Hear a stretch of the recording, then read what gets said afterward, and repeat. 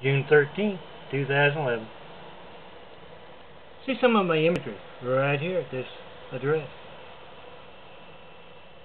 Then call me up, mail me. Let's do business. I'm John Melton Brady. Get yourself an image personally designed for you.